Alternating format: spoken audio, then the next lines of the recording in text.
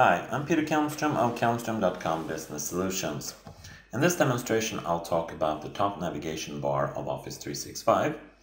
I'll start from the left with what I would call the Start button of Office 365 and there you see links to your most common apps. I have a few there now and that's because my SharePoint is still sitting up in the background. But as you see, if I click on one of these things, if I go into my mail for example, going out into Outlook, but Outlook has the same navigation bar, so you can always get back to this start button here.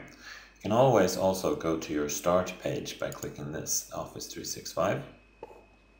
This button here is the new mail and I can see notifications from Outlook mostly. And as you see, I get a link there to email that is showing up as a notification there. So I have a link there from mail. If I had appointments, they would show up here too. I can go to Outlook, which takes me to the mail section. So Outlook consists of these four parts in the navigation. But this take, go to Outlook takes me to the mail also. The next button here is some settings. You can change the theme. You can go into other Office 365 settings. You can, for example, click on this button, which takes you to the page where you can customize how you appear for other users in Office 365. I'll go through that in another demo. Here's the software link, which you've seen before, which allows you to install the Office 365 Pro Plus, um, but also lots of other things. Skype for Business, the OneDrive, tools and add-ins, desktop setup, and phone and tablet links there also.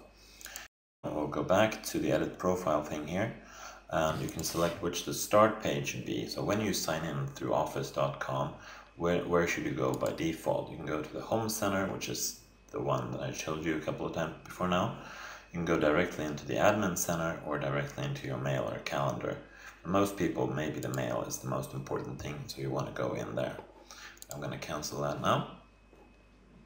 You can also select which notifications will show up here. So the reminders, a new email, and uh, if there, there should be a sound for that. So those are the things that you can set as notifications. Um, there's also the contact preferences, which is your alternate email address or your business phone and all these kind of things. This is not the same as your alternate email address or your phone number. So this is about how Microsoft is a, uh, are able to contact you. So as you see, by default, all these are blank. You might want to fill those out if you feel that you're not getting enough information from Microsoft. That's your option, of course. Then, of course, you can change the language to it. Try to pick that up from your regional settings, but if those do not apply, then you can change that here. And finally, the change password, a very important one, of course.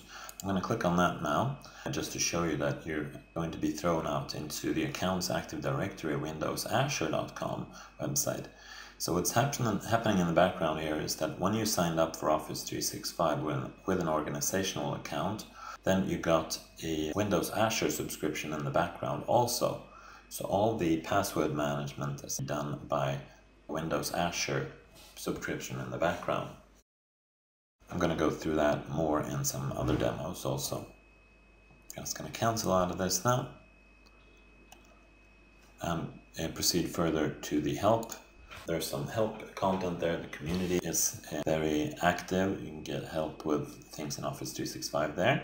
There's some legal and privacy links also. I mentioned that you can up here go to your profile page, which I'll do in another demo. If you just want to change your picture, you can do that here by clicking on change. And this is also where you sign out of Office 365, very important button up there. So thank you for watching this demo about the navigation bar in Office 365.